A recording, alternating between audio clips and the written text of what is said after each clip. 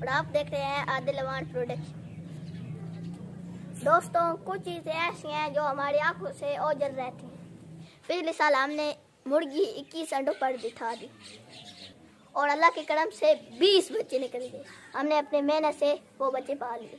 दोस्तों, इन सर्दियों में फार्मी अंडा पच्चीस रुपए का बिका और देसी अंडा तीस रुपए में बिका। अल्लाह की मेहरबानी से हमारे घर में मुर्गियाँ और उन्होंने धड़ाधड़ अंडे देने शुरू कर दिए। और अल्लाह की मेहरबानी से सर्दियों में। देसी अंडों के हवाले से हमें कोई प्रॉब्लम दोस्तों, हर बंदा हमारी तरह शुरू कर दे। तो ना सिर्फ़ हर के अंडे बाल बल्कि इस सवाल से बचत भी होगी। तो मेरी आपसे एक रिक्वेस्ट है कि आप मुर्गियाँ पालें। थोड़ी सी मेहनत से ये बचत करें। ये अंडे ना सिर्फ़ गजाइत से भरपूर है, फार्मी अंडों का इन अंडों से क्या मुकाबला? बस एक एहतियात ज़रूरी है।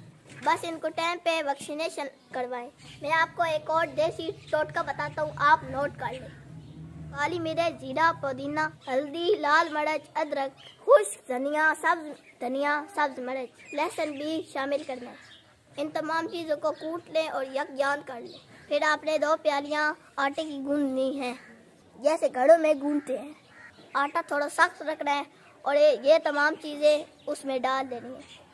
इन तमाम के छोटे छोटे कैप्सूल बना लेने वो कैप्सूल छो में डालकर एक बार पर खुश कर हैं।